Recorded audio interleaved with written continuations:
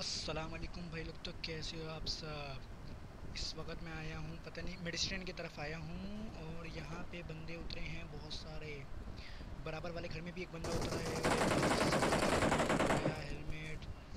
ये मिल गई मुझे। कौन सी कहना है इसका नाम? क्या? Barrel barrel. पता नहीं क्या नाम होता है, बैरल बोलते हैं, क्या नाम है? बैरल मिल गई है। टाइट गन है अच्छी गन है। सामने बंदा उतरा है, भाई साहब, ग्रेनेड फेंक के दिखते हैं सामने ही है पैनिक में आएगा, छलांग मारेगा, नीचे गिर जाएगा। जैसे ओ भाई साहब, ये क्या यार? क्या परफेक्ट ग्रेनेड था यार, क्या था? एक ही ग्रेनेड पे बंदा था भाई साहब।